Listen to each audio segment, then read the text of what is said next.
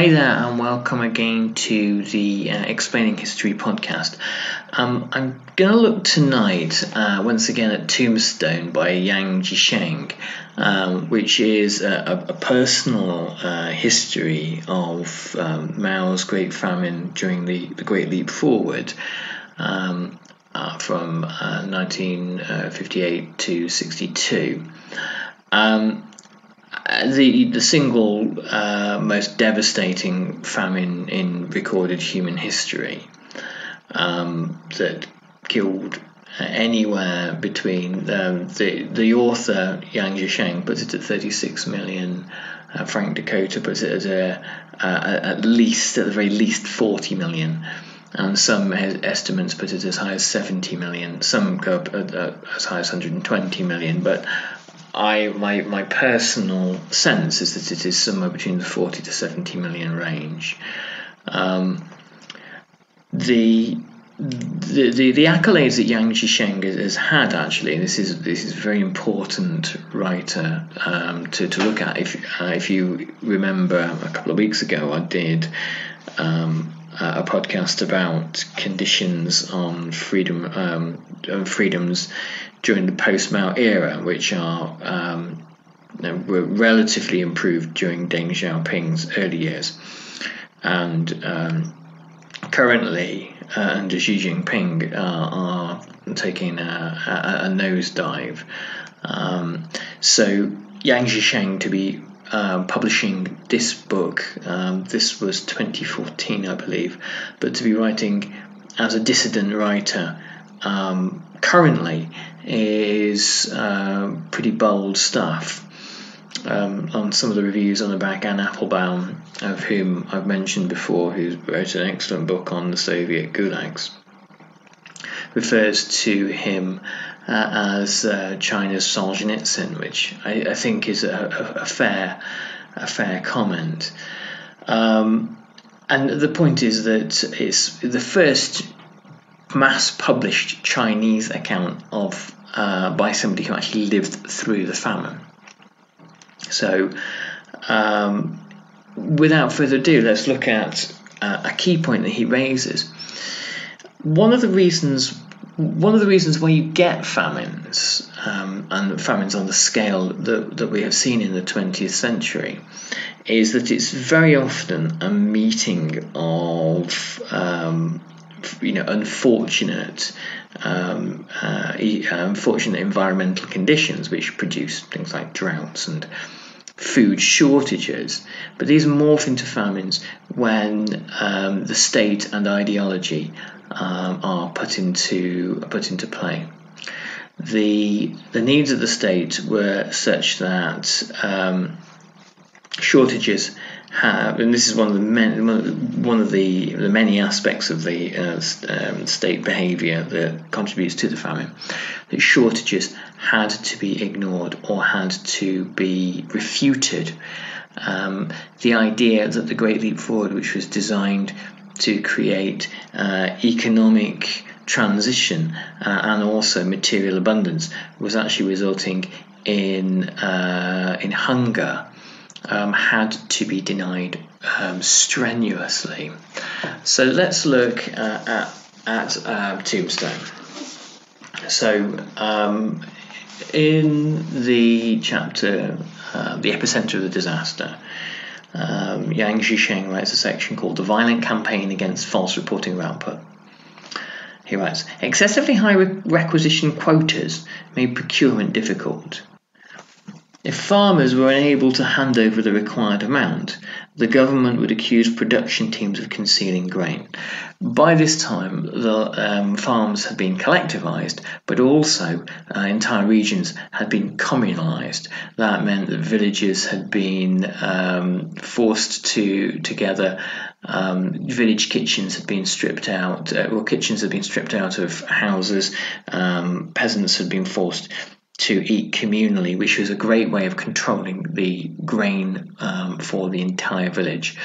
The whole point, of course, was to extract as much grain from the, um, the from, from, the countryside and either sell it as um, export cash crops, so selling rice overseas to gain gain um, foreign credits to um, buy in, and import machinery or to feed workers in the cities and to uh, set up the the peasants as the kind of if they didn't uh, comply with this as the kind of the scapegoat the counter-revolutionary scapegoats that were causing all the trouble and ruining it for everybody. Um, the just like uh, Stalin's collectivization and his war against the kulaks Mao followed the playbook note for note and made sure that there was a, uh, a violent campaign in the countryside of extraction. Um, a struggle between the two roads of socialism and capitalism was launched to counteract the alleged withholding of grain. The campaign used political pressure, mental torture, and ruthless violence to extort every last kernel of grain or seed from the peasants. Anyone who uttered the slightest protest was beaten, sometimes fatally. A meeting at Rooster Mountain pushed the campaign against grain hoarding to a climax. Li Ruiying, the wife of Zhang Shufan, was chair of Xinyang's pre- Prefecture's Federation of Women. In June 1959, the Prefectural Party Committee had her lead a work group to Rooster Mountain Commune to report on a pilot project to produce 5,000 kilos of paddy per mu of land. Mu is uh, uh, something equivalent to, uh, to a hectare. The brainchild of the county party secretary. Li Ruiying's um, team stayed at Rooster Mountain for a month, during which they learned that this model commune was a fraud and that the peasants were starving. So here, here we have the kind of the, the Maoist equivalent of the Potemkin village, the, um, thing that appears to be harmonious and um, uh, productive and functional on the outside, um, but in the reality is that all this this mass productivity um, is simply just plunder. The peasants aren't producing surpluses of grain. The state is just taking not just the regular surplus, but also anything, the subsistence, anything that the farmers uh, have to live on. So, being being as uh, farming uh, since the very beginnings of agriculture is all about the, the kind of the art of creating food surpluses. This is a, a sort of like a war on the concept of farming uh, itself. Um, so, starving peasants were soon um, discovered by some members of the party who, who really were, uh, you know, had, had consciences and were concerned and, and shocked by what they uncovered. Li Ruiying um, wrote to the prefectural party secretary Liu Jianwen requesting 105,000 kilos of grain, but Liu refused and labelled Li, Li Ruiying um, a right deviationist. A cadre sent to Rooster Mountain to replace, replace Li also truthfully reported the hunger of commune members, only, only to be labelled a vacillator. There was a great deal of fear and anxiety involved in accepting the truth about the, the situation. Anyone who agreed to um, kilos of 105,000 kilos of grain being sent to a region had to um, tacitly accept that there was hunger there. To tacitly accept that there was hunger there was to accept that Mao's um, key policy uh, not only had failed, but was turning into a catastrophe. Mao himself had toured China um, during the Great Leap Forward and had been, uh, obviously, his tour had been stage managed to prevent even him from seeing the consequences of the Great Leap Forward. Um, and he would probably have chosen to ignore it himself anyway had he seen. Li's replacement, Wang Binglin, tried to appease Party Secretary Liu Jianwen by organizing an on the spot meeting to oppose false reporting of output and private withholding. The arcane official formulation for hoarding. All that was produced uh, were rice husks covered by a thin layer of grain. the prefectural party committee ordered local cadres to stifle the public outcry, stop villagers from fleeing in search of food, and halt the closure of communal kitchens. So, villagers um, very soon, uh, under the the conditions of the famine, began to um, try to take as what what action they could do to survive. The, the causes of the famine are, are as follows. Firstly, there had been um, a, a, totally misguided policy, uh, the product of um, uh, Soviet um, agronomists, particularly a, a, guy called Trofim Lysenko, who's a, a well known fraud in scientific uh, terms. I've, I've, talked about Lysenko before. Um, who uh, advised the all too eager to listen Maoists um, that uh, productivity could be increased by planting um, rice plants in rice paddies uh, more closely together or uh, by planting them more deeply. Um, and it obviously, um, rice farmers over thousands of years had learned exactly how to how to cultivate rice and uh, didn't need a, uh, a know-it-all Soviet agronomist who was also um, a man who willfully distorted the figures to suit his the outcomes that he wanted.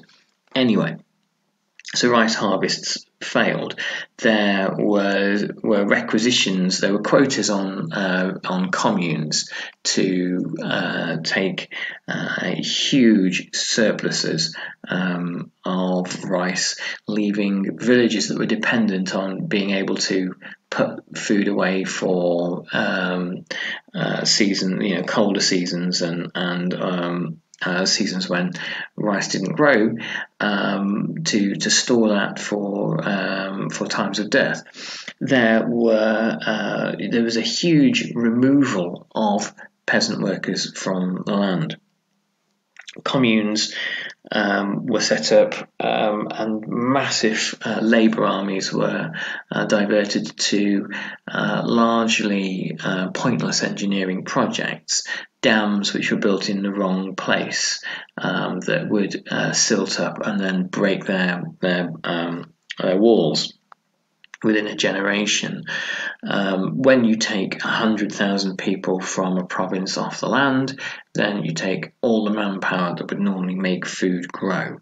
The, there were um, party bosses and cadres who had to beat work norms, they had to um, make sure that the targets they had been set for uh, productivity weren't just reached but they were breached. And in doing so they would work some peasants for you know 100 hours non-stop without food or sleep. And um, well, normally about two-thirds of the way through that people would simply drop dead. Um, the um, decision by the government to be exporting food during a famine um, showed a kind of a criminal disregard for the the fate of ordinary Chinese people. But Mao had to appear to his um, uh, to to nations that were willing to listen, particularly uh, nations in um, just outside the Soviet sphere, the uh, places such as Albania, um, that the Soviet Union, uh, that the that Maoist China was able to outproduce the Soviet Union. Much of this, Mao said that he wished to um, uh, leapfrog um, over Great Britain uh, and become um, a, a, more important economic power than, than Great Britain in the late 1950s, um, which in his rec, I mean, now that seems sort of slightly absurd to us because Britain is a, a, much smaller and diminished power, but obviously it really was still quite an impressive world economic power in the late 1950s. Uh, but it was really the Soviet Union that Mao was kind of talking to. Stalin had passed away he, the new replacement, uh, Khrushchev, Mao had very little time for and saw him as a, a kind of a political nonentity. He saw uh, Khrushchev as being um, a, a, kind of a joke, really, uh, and believed himself to be the key figure of world revolution. Part of the point of the Great Leap Forward was to show the Soviet Union. Well, you you had um, the five-year plans under Stalin, but here's how it's really done. Um, we want to uh, do uh, better than you in a shorter amount of time, uh, and in doing so, we will communicate to the rest of the communist world who's really in charge. So Yang Jisheng writes. Anyone who claimed to have no grain was labelled as a negator of the three banners, a negator of the great harvest, or a right deviationist, and was subject to struggle. Struggle means to a, a struggle session, and what that normally entailed is if you were in a village, you'd be taken up in front of the uh, the rest of the villagers and forced to denounce yourself for hours and hours and hours on end, normally with an angry party cadre shouting at you and telling you to stop telling lies and to tell even more um, degrading secrets about yourself. And so the, the person would be driven half mad uh, through kind of anxiety and fear. The audience kind of uh, knew how to please the cadre and um, how to respond. Uh, and it was normally by whipping itself up into ever greater levels of, of, rage towards this traitor in their midst, even though most people knew full well, rationally, the individual hadn't done uh, uh hadn't done any wrong. It, Yang Jisheng writes, if communal kitchens closed due to lack of food, this was labelled the masses threatening the cadres, and abandoning starving children along the roadsides was labelled an assault against the party. Punishments were inflicted on cadres and villagers alike.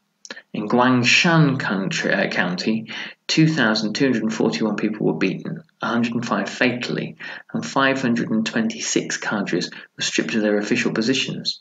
The number of deaths and physical abuse rose even higher towards the end of the campaign. In the Xinyang incident, Chao Pei Hui describes the situation in one village.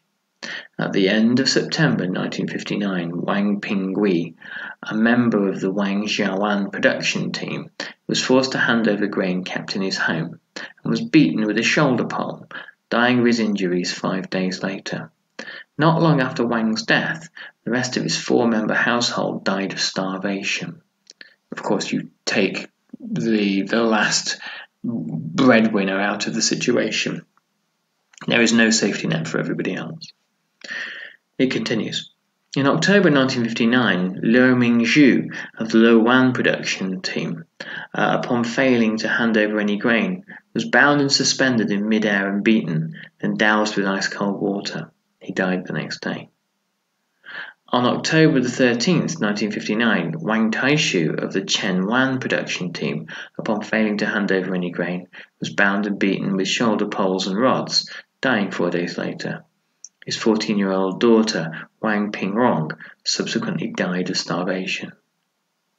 On October 15, 1959, Zhang Zhirong of the Jianwan production team, upon failing to hand over any grain, was bound and beaten to death by, uh, with kindling and poles. The brigade's cadre used tongs to insert rice and soybeans into the deceased's anus while shouting, Now you can grow grains out of your corpse. Zhang left behind children aged 8 and 10 who subsequently died of starvation. So part of what we see here is a pattern of, of kind of mass um, trauma to society.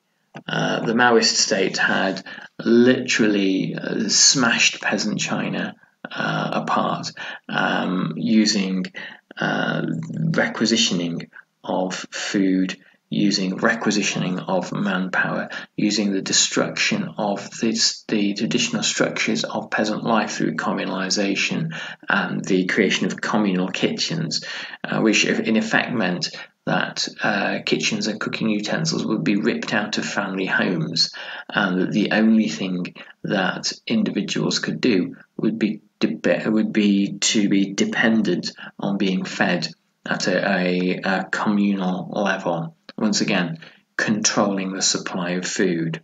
Um, by controlling the supply of food in a country that is abundant with food, uh, the new the Maoist government was uh, able to bring the entire population to a, a, a degree of serfdom and perhaps even even slavery you could you could call it.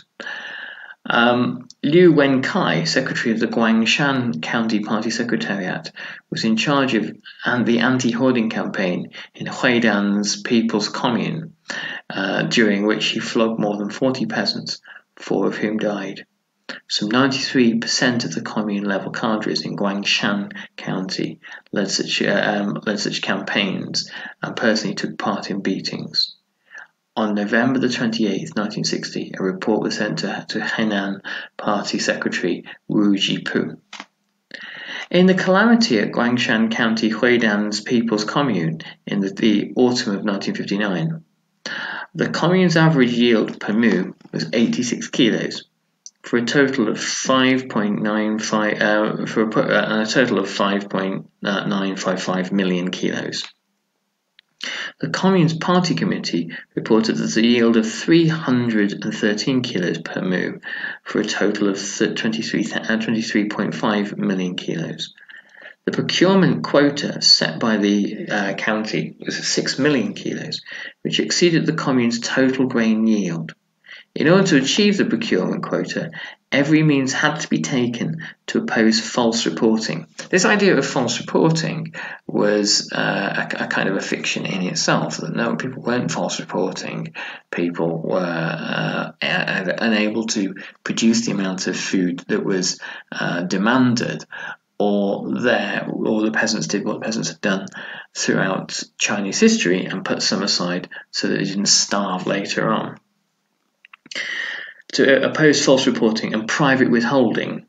Every scrap of food had to be seized from the masses. The final procurement was 5.185 million kilos. All of the communal kitchens were closed down and deaths followed. So, eh, private kitchens were closed down, family kitchens were closed down, but also communal kitchens were as well. The, um, uh, the, the, the villagers are left with no means of feeding themselves. Liu Wenkai and the Commune Party committee attributed the kitchen closures and deaths to attacks by well-to-do middle peasants and sabotage by class enemies, and to the struggle between the two paths of socialism and capitalism. This was a really interesting kind of fiction, uh, in that Party cadres said, "Well, look, you know, this this is this, we're, we're fighting a, a war to the death with capitalism here. This is messy. And part of what they meant was hoarding was capitalism. That um, hiding grain so you can feed yourself tomorrow was capitalism because they said, well, that's a kind of speculation, isn't it? And you're probably speculating that um, if you hoard your grain now, then the prices price of grain will go up next week and you'll make a profit, making you a, a capitalist sucking exploiter, right deviationist, running dog, etc. So this was this was the mentality, and the way that I think is is useful to to think about it um, is that the, the Great Leap Forward is a, is a kind of uh, and, and, the famine that results from it is, is a kind of like social warfare, really. It is the uh, a, a war against mainly against China's peasants um, they weren't the only people to starve, but mainly it was China's peasants. Um, and because and because they uh, had the the foodstuffs that Mao believed would power China into this new age of industrial abundance, they had to be uh, expropriated. Uh, Mao didn't really care how much bloodshed that resulted in. Okay, so that's um, the to this week's podcast. Um, if you remember, check us out at www.explaininghistory.org, um, and there's always something new and interesting going up there each week. Normally, um, this podcast or a bit of uh, writing that I do, or, or what have you. Um, and come and visit us at the Explaining History Facebook group, where, there's uh, interesting articles and bits and pieces that I, I managed to procure uh, go up there too. Uh, thanks so much, everybody, and thanks to all the people that sponsor the podcast via Patreon. We're always grateful, uh, and I'll catch you on the next Explaining History podcast. All the best. Thanks very much. Bye bye.